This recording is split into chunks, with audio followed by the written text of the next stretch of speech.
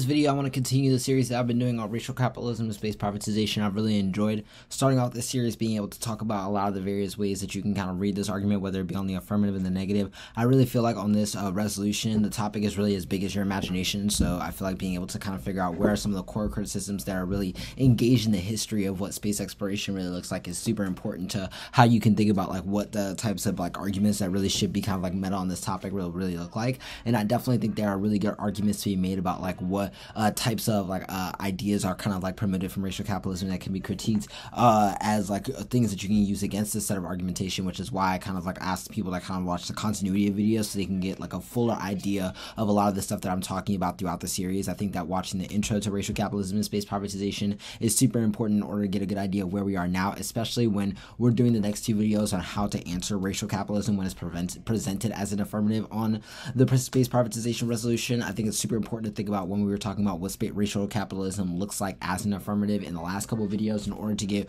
really where we're going here and to get a better idea of like how these arguments are, are formed in order for you to have a better understanding of like how we're responding to them because in this video I'll be kind of talking about what are some of the major priorities that you need to have against this argumentation and then what you should be kind of like thinking about in terms of the case arguments and framework and T arguments that you should be building in order to complement like maybe some other arguments you want to make or to be able to go for with other things like criticism, counterplans, and disads I'll be talking about in the next video. But to kind of start off with this one, I really just want to talk about what are some of the major priorities that you should kind of be focused on when you're thinking about uh, these affirmatives and how you should be attacking them? The first thing is that I think that a lot of these affirmatives will have a really good hist- uh, historization of like the way in which the resolution is able to like exist in terms of like how uh, space uh, trips become financialized. I definitely think that there's an intimate tie between the history of space exploration and the desire to be in space in the way in which racial capitalism is kind of prevented presented not only as a system of like financial extraction but also as a system of values. And so I think that the way in which you can kind of like think about this is like not whether or not the 1AC is connected to that historical conjecture, but whether or not the 1AC has a resolution for the particular type of violence that is kind of like offered by the uh, non, uh, by the kind of like forgetting of space or the refusal to kind of think about it as an inevitable process of like human development. And I think that there is like a good amount of literature for you kind of swing that the 1AC's kind of like lack of a method or your ability to indict its possibility of a lack of a method is really strong no matter like what vantage point you're going for from framework all the way to criticisms and the rest of the stuff that we kind of talked about in terms of negative options. I think think that this kind of like indicted of the method and trying to figure out at a base the way it kind of generates a different relationship to space and exploration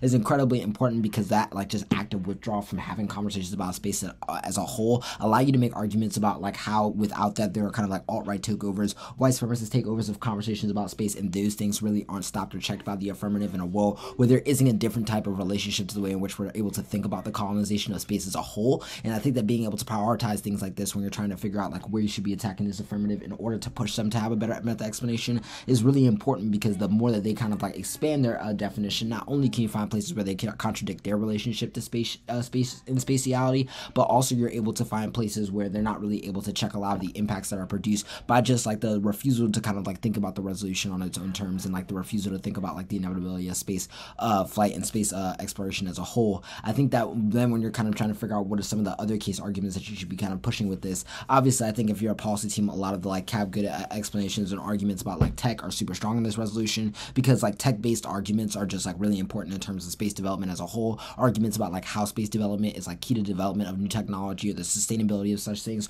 are obviously really pertinent questions to like whether or not capitalism is a sustainable enough system to create the possibility for like human life to thrive even if it isn't on Earth, which is something like I think is a key pivot that a lot of arguments that a lot of teams can kind of make on this resolution particularly. But I also think that outside of those terms, uh, for teams that are kind of just looking for more generic spots, a lot of the arguments that I think you really want to go to is the 1AC, especially if it's focused on the concept of Whitey of the uh, Whitey on the moon. It's particular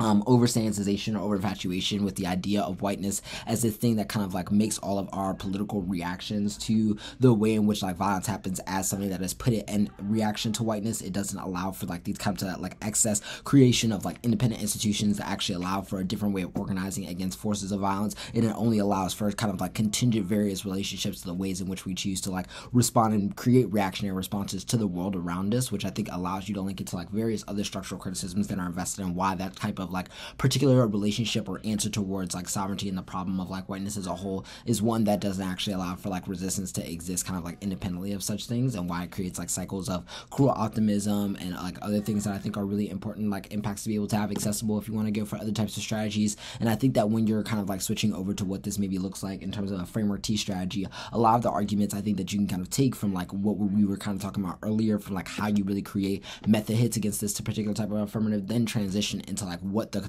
importance of the resolution is. I definitely feel like this is a resolution where I feel like a lot of teams can find success and will find it really fruitful to really expand on why talking about space is super important and why the kind of ability to have conversations about space exploration as an inevitable part of the way in which human development operates is key to figuring out whether or not space will be the next frontier for like the continuation of systems of violence or whether or not it can be har- harnessed for like human good and the change in the relationship that we have to society as a whole in spatialization all of which i think are really relevant questions to the ways in which like we think about like what like spatial politics are really doing and why they're important to the conversations that we're having. And i also think the more that you're able to push that the more you're able to raise the bar on why like precise details are really important to those conversations which not only make it a question of whether or not you're able to like win some of like the skill based offense that comes from framework but whether or not you're able to win some of like the procedural values as well because of the way in which you're kind of like winning that these like technical and precise details are really important to the framing of like public dialogue and various types of policies that kind of determine the future of like what kind of like our access to space will look like.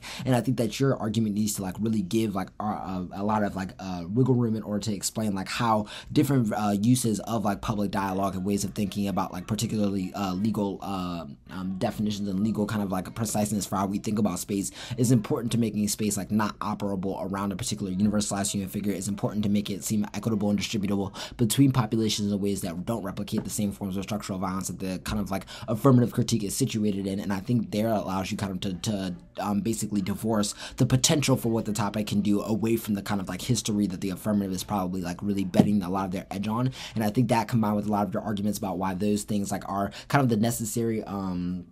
uh, justifications for why procedural norms kind of also should be valued in the face of that can be really helpful for kind of building out a full out strategy to make all, like all of this workable. Hopefully this video was helpful for you and hopefully you'll tune into more videos I'll be doing talking about racial capitalism and space and other stuff and yeah, thank you as always.